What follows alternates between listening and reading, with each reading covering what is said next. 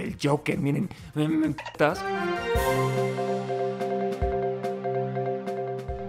Hoy son las eliminatorias del Mundial de Warzone. Hoy van a clasificar entre no sé cuántos decenas de equipos. Solamente tres van a poder ir al Mundial. Solamente le dieron tres lugares a Latinoamérica. Así que de corazón le mando muchísima suerte a Smoke, a Disgrace, a Amir y a mi rey. Hay otras personas que conozco, pero ellos son mis consentidos, así que les mando mucha suerte. Ojalá clasifiquen. Y pues bueno, ahorita hablando de esto, espero que para muchos de estos streamers que están en Monterrey no tengan ningún problema, porque ahorita ya se cayó la lluvia y es que de verdad el mundo ya está totalmente opuesto. Hasta hace una semana el calor era insoportable. Bueno, aquí en Puebla todavía es insoportable el calor, a pesar de que esté lloviendo. Lo único que hace es que llueva y luego con el calor empieza a levantar vapor, entonces se siente como ahora calor con humedad. Pero vaya, ya estamos a pocos días de que ya se empiece a invertir las temperaturas y es lo que está pasando ahorita en Nuevo León. En Nuevo León, nada más en una semana, en cuestión de un par de lluvias, esto por el huracán Alberto y por un montón de factores, ya se está inundando. Literalmente, hay un río muy famoso, bueno, sí, como un canal o un río que la mayoría del año está seco en Monterrey, pero cuando llueve demasiado fuerte se llega a inundar. Pues bueno, se inundó, parece prácticamente un río. De hecho, voy a grabar un short al rato sobre eso. Hay un video muy viral que se está haciendo de unos niños que están corriendo y se ve junto cómo está corriendo todo ahí la corriente.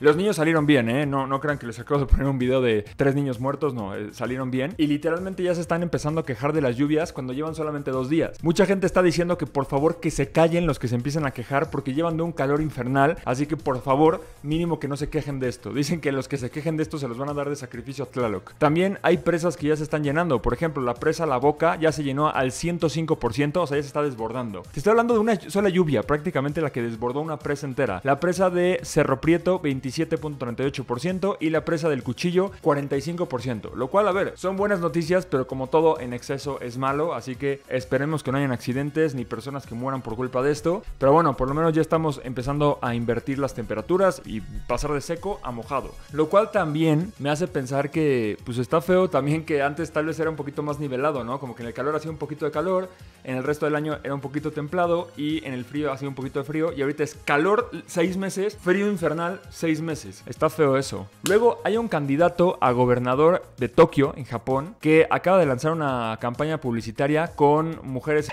bueno, con una mujer en, particular, en donde pues en las como boletas de publicidad está ella pues abierta de piernas y con pues nada encima. Esto lo está haciendo una persona que la verdad es que es bastante peculiar por dos razones. Una por la que acabo de mencionar y otra porque él mismo se disfraza del Joker, lo cual yo creo que no debes de estar muy bien de la cabeza para querer interpretar o disfrazarte de un villano literalmente de una de las peores ciudades distópicas del mundo que es Gotham City para que la gente vote por ti en Japón. O sea, entendería en Estados Unidos que ahorita están de la chingada y es como, ah, sí, los memes. Pero en Japón, que es tanto de cultura, de educación, de ser respetables y de repente llega uno, eh, soy el Joker, miren, no va a ganar, la verdad, pero sí es verdad que está llamando mucho la atención. Ahora, sobre esto de la libertad de expresión, ustedes saben que yo soy una persona que está muy a favor de la libertad de expresión, pero esto no es libertad de expresión, esto es exponerte y es literalmente ponerle no por al alcance de los niños, eso no es libertad de expresión. Como tal sí lo es porque es una expresión artística lo que quieras, pero no, o sea, una cosa es que puedas decir tus ideales y que puedas decir las cosas. Por ejemplo, si él dijera, yo quiero poner no por en las calles y quiero poderlo hacer, eso sí es libertad de expresión, es una idea y si la gente vota por eso, pues va. Pero que tú llegues así porque quieres y empiezas a poner ese tipo de imágenes, la verdad es que no está padre. Ahora, algo que está llamando la atención y que aquí puede que sí obtenga muchos votos, es que esto tal vez tú no lo sabías, pero en el no por japonés censuran las partes íntimas de las personas. Esas censuras, esos videos que tal vez has visto en donde se ven asiáticos con, con pixelado, no es porque alguien los pixeló después, es porque, no sé si sea por ley o por cultura, pero ahí pixelean todo. Incluso si tú vas a un barrio ahí y compras una película no por, te la van a dar censurada, lo cual pierde un poco el chiste porque pues el chiste de ver eso es pues ver las partes, ¿no? Entonces, lo que él está diciendo es que quiere quitar esa censura. Entonces, pues veremos si gana o veremos si esa iniciativa pues llama tanto la atención como para que obtenga votos, pero la verdad es que está muy curioso esta persona, es todo un personaje. Luego, tenemos que chimpancés nos están dando cátedra, nos están enseñando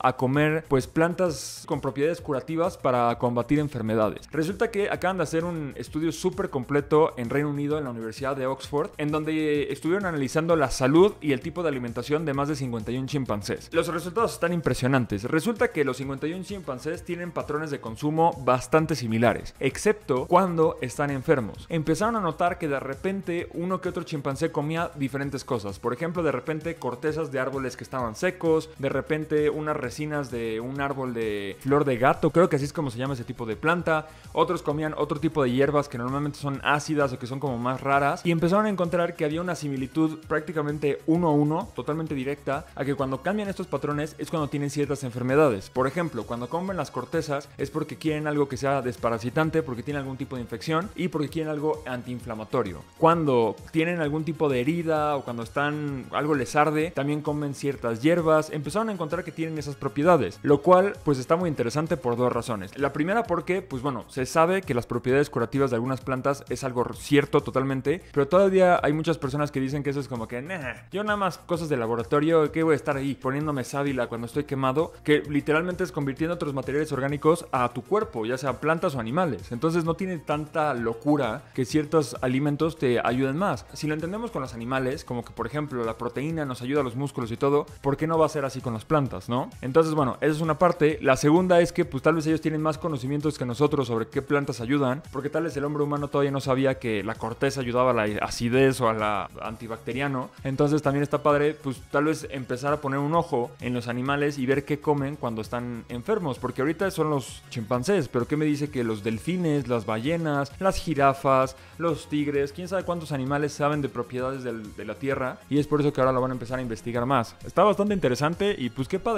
Que los chimpancés nos estén enseñando cosas. Son muy sabios esos animales. Luego hay un cantante que acaba de golpear a un streamer y la verdad es que sí se está armando todo un problema y una muy mala reputación para el cantante. Hasta ahorita lo que pasa es que hay un problema entre Brunenger, que es un streamer bastante conocido, y un cantante que se llama Tiago PZK. Yo personalmente no lo conocía, pero por lo que veo es una persona que está muy fuerte ahorita en Argentina. El caso es que al parecer Brunenger le ha tirado, pues se ha hecho comentarios feos hacia él y se han tirado como que mierda en Twitter y así, pero resulta que en estos días Tiago y Brunenger se encontraron en una fiesta, a lo cual Tiago llegó como muy alzadito y le empezó a, a echar pleito, a lo cual pues Brunenger no siguió. Y el problema aquí fue que se pegaron pero no de una manera justa. No uno a uno, no Brunenger y Tiago ahí pa pa pa, no, sino que Tiago, aparentemente todo esto es la versión de, de Brunenger. Tiago lo que hizo fue que fue con varios amigos y entre ocho amigos le pegaron a Brunenger. En el video se puede ver cómo Brunenger tiene heridas debajo del ojo, en el labio, y lo que dijo fue, pues eso, ¿no? Que le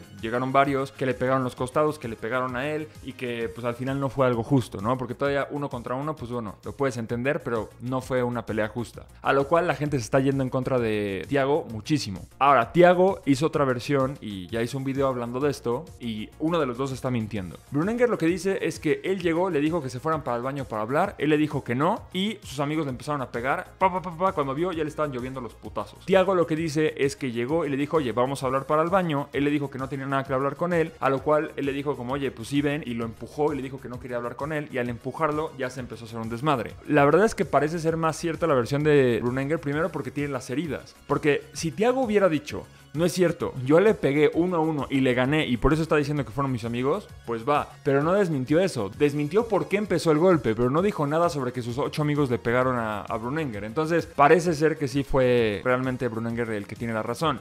Brunenger le está diciendo que es un cagón, que eso no se hace, que es de, pues sí, de persona que no tiene honor o que no tiene valores, o bueno, valores ya no, tienes que tener para pegarle a alguien, pero bueno, valores en cuanto a la pelea, ¿no? En cuanto a la lucha, porque sí es una mamada que agarrar entre varios a una persona. Y bueno, ahorita la gente está yéndose en contra de Tiago, incluso Coscu, que es uno de los streamers más grandes de Argentina, está defendiendo a Brunenger. Así que estaría muy padre un debate, la verdad, me encantaría verlos a los dos en llamada hablando y a ver que la gente solita con su criterio se dé cuenta quién está diciendo la verdad, quién está diciendo yo me inclino más a que fue algo intermedio. Probablemente Brunenger sí llegó como que muy, ay, que no te tengo miedo, que quítate. Y el otro empezó a pegar y al final se metieron los amigos. Yo creo que al final, en el momento en el que pegas, ya perdiste, punto número uno. En el momento en el que tus amigos se meten y son montoneros, ya perdiste doble. Pero tal vez sí Brunengel sí llegó como provocando. Tampoco creo que haya llegado y, y dicho, oye, hay que ser pacíficos, hay que darnos la mano. Probablemente no, probablemente sigo insultando y todo. Aún así creo que no justifica que una persona meta tantos amigos a pegarle a alguien. No es justo. Luego hay una mujer que acaba de mandar a su novio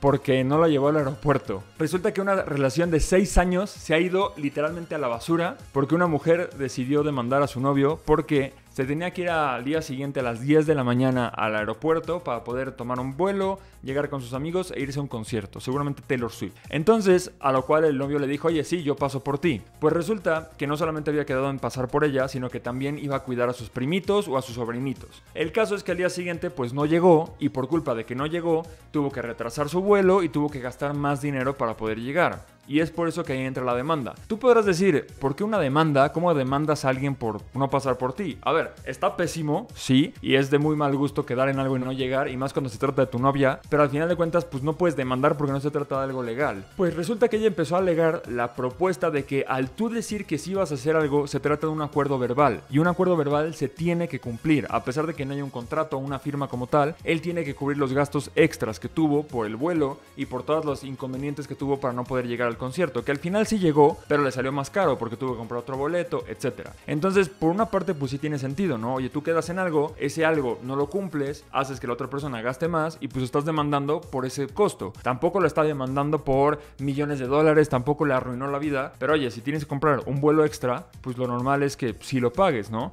De entrada no deberías de ir a lo legal. De entrada, yo creo que lo, lo cordial es que si tú quedas con una persona y con esa persona no pasas por ella, pues le ofrezcas, oye, pues te pago el otro ¿no? Tampoco sabemos por qué no llegó, ¿no? Igual estaba ahí rescatando a una abuelita de un incendio y pues por eso no pudo llegar, pero al final, eh, pues esa fue la demanda. El caso es que los jueces dijeron que no. ¿Por qué? Dicen que si bien si un contrato verbal o una promesa verbal sí puede contar como un contrato, al tratarse solamente de un favor no aplica. ¿Eso qué quiere decir? Esto para que lo sepas. Digo, estas son las leyes de Nueva Zelanda, pero igual aquí también aplican. Eso quiere decir que si tú dices, oye, te voy a comprar camarón y el otro te dice, bueno, va, yo voy al mercado y te voy a comprar y luego tú me lo compras, esa discusión verbal, si luego no le vendes al camarón, igual sí te puede demandar. Aquí no porque se trataba de un favor, no era realmente un negocio. Quedó con un taxista, no quedó con un chofer, quedó con su novio de, oye, me haces el favor de ir. Pero si hubieran quedado en algo más de negocio, algo más concreto que pudiera afectar monetariamente a la persona, pues igual y si lo hubieran